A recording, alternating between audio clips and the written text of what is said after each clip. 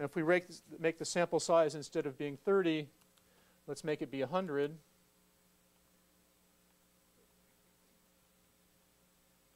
Okay, now it's really fitting quite well. Yep. And if we make the sample size be 200,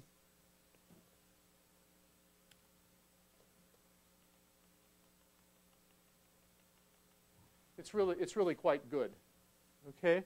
So what happens in general is if you are looking at the sample sum or the sample mean of draws with replacement from a box of numbered tickets, the normal curve is an increasingly good approximation to the probability distribution of that sample sum or sample mean as the sample size grows. Okay. It's not the number of tickets in the box that matters, it's the number of tickets you pull out of the box that matters. It's the sa sample sum or sample mean of a large sample with replacement. Now, how good the approximation is depends on the numbers that are in the box. So in this particular case, the numbers in the box have a nice uniform distribution 0, 1, 2, 3, 4. The approximation wouldn't be as good if the distribution were really skewed, right? If, if I'm starting with, if I'm trying to approximate something with a normal curve, the normal curve is symmetric, right? It's not going to approximate something that's skewed very well. Yes? If the distribution of the numbers in the box is really, really skewed, then the distribution of the sample sum or sample mean will be skewed. Not as much, but still skewed. All right, so if I take these numbers and I replace them with um, 0, 2, 3, 4, 5, 6, 7, 8, 9, 10, 11, 12, 13, 14, 15, 16, 17, 18, 19, 20, and 1. Okay? So I've got, now I've got a 0, 1 box with mostly zeros in it. So what does the population histogram look like for this? Big bump at 0, little, little bump at 1. Yeah, it's right skewed. Okay, most of, the, most of the numbers are 0 and one number is 1.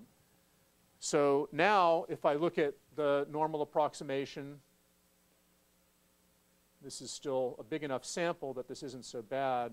Let me uh, take this back down to 30, see if you can remember.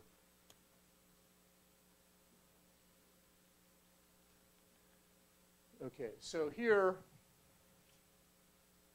the normal curve is kind of wanting there to be some probability out here to the left of zero, but there can't be, right? Because if you add positive numbers, you can never get a negative number, right? Okay, so um, the, but as the number of draws increases, by the time we get to 300 draws, the normal approximation, again, is really not that bad. Okay? So for any fixed distribution of numbers in the box, the normal approximation to the sum or the mean is going to get better and better and better as the number of draws gets bigger. But you can't compare across boxes. Uh, the normal approximation to the distribution of the sample sum of 50 draws from, a, from box A might be better or worse than the normal approximation to the sample sum or sample mean of 1,000 draws from box B. It depends on what numbers are in each of those two boxes. If the numbers in box B are highly, highly skewed, if there's a very, very skewed distribution, it could be worse. If the numbers in box A um, uh, were, followed a nice bell curve in the first place, then the distribution of the sample sum of numbers that follow the bell curve is going to follow the bell curve even better.